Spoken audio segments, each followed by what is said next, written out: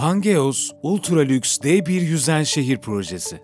Deniz kaplumbağası şekilli Pangeos, üretilebilirse şu ana kadar inşa edilmiş en büyük yapı olacak. 60 bin yolcu taşıyabilen proje, adını ise tarihten alıyor. Yaklaşık 200 milyon yıl önce dünyada tek bir kıta varken parçalanmaya başlayan süper kıta Pangea, yata ismini vermiş. İtalyan tasarımcı Pier Paolo Razzarini tasarımı Pangeos gerçek bir dev. Bu dev boyutlar haliyle maliyete de yansıyor. Maliyeti 8 milyar dolar olan bu gigayatı üretmek tahminlere göre 8 yıl sürecek.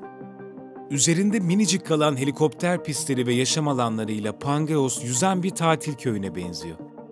Uzunluğu 550 metre olan devasa yapının en geniş noktası ise 610 metre.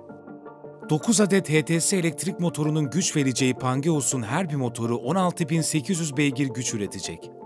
Görkemli deniz taşıtı saatte 5 knot hızla seyredebilecek. Küresel ısınma ve seller dünyayı vurduğunda belki de insanlık bu yatla hayatta kalır. Kim bilir?